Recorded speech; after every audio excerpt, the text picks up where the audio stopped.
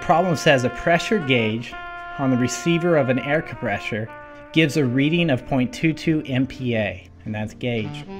What is the absolute pressure of the tank in kPa if the surrounding atmospheric pressure is 101 kPa? So the first thing we need to do is establish the information that we are given in this problem. First, we have to recognize number one, that the problem is given to us in SI units. So we're going to be working with pascals here. Now we are told that the pressure reading is in gauge pressure and that P gauge is equal to 0.22 MPa. We are given atmospheric pressure at 101 kPa. Now we're going to use that same formula that we just looked, like, looked at in the previous slide that relates absolute pressure, atmospheric pressure, and gauge pressure. This is can be found, this table right here, this uh, equation can be found on page 102. From here, some of you are just going to throw the given values into the formula and just get at it, just rip up. But we can't just do that yet.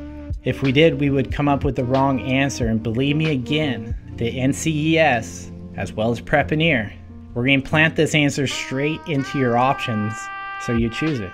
Before we do anything, we must convert the gauge pressure from MPa to kPa. Remember, a kilo pascal is 10 to the third in pascals. A megapascal is 10 to the sixth.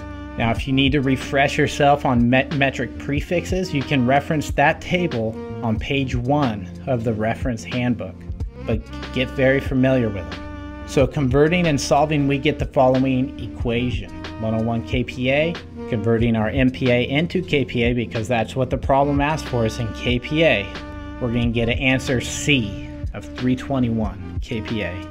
So just look at that once again, how we did all that, and that's going to be your answer. Now, had we not converted the gauge reading to kPa, we really quickly could have seen that option A of 101.22 and just chose that. Because it was there, it was simple. We got that in our mind real quick. Yet it, it could be a catastrophe on our part.